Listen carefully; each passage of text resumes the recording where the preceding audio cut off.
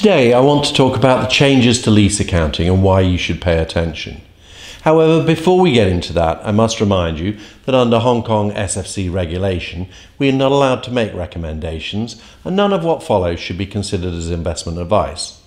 However, if you're thinking about making an investment, we think you should bear in mind the following. Since January 2019, off balance sheet leases have had to come on balance sheet, and this has given rise to the following changes.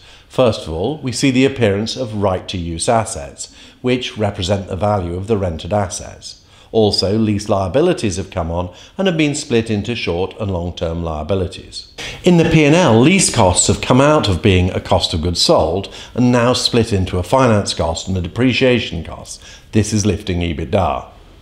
This has also had an impact on operating cash flow, but when you look at the business holistically, it's made absolutely no difference to the underlying operating performance. However, the change is giving management a great opportunity to talk about improving margins, even though, as I say, nothing's really changed. A good example of this is Rolls Royce. They talk about operating profits being up 30%, but completely fail to notice that all of the improvement in margins is simply as a result of this change to lease accounting.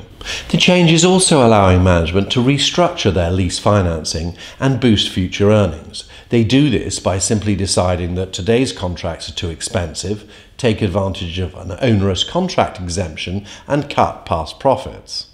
However, surprise, surprise, we don't expect them to downwardly adjust management compensation to take into account these new losses. The change is also allowing management to restructure the future cost of their current leases. They do this by deciding the leases are simply too expensive, take a charge against retained profits, and thereby boost future earnings. However, surprise, surprise, we've seen little evidence of management cutting their compensation packages to adjust for the fact that they're now saying losses in the past were much higher than originally reported. The new standard was specifically designed to highlight to investors some of the liabilities that companies were taking on that had previously been left off balance sheet. The irony of all this is that a few companies like Lenovo and UPS have taken advantage of exemptions embedded in the standard to actually reduce the liabilities they report.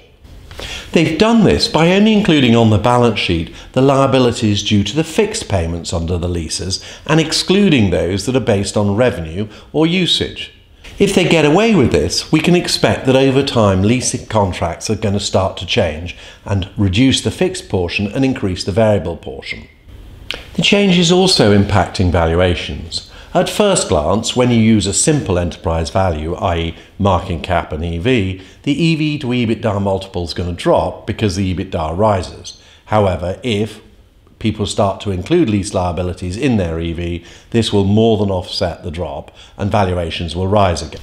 We think this is creating some investment opportunities because a lot of people's fundamental databases have yet to really be updated for the changes. And when we look across our valuation metrics, we see there's some complete anomalies, some companies that look very expensive based on the new changes and some that look quite cheap.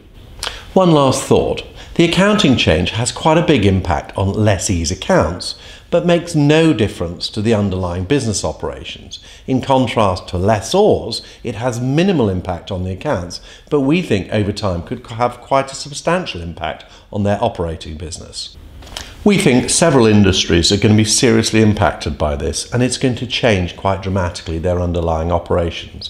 Telecoms towers would be a good example, as would vendor finance. Now, if you'd like to know more, please visit our website or send us an email. Alternatively, if you want to keep up to date with our research, subscribe to our channel. Thank you very much for your time.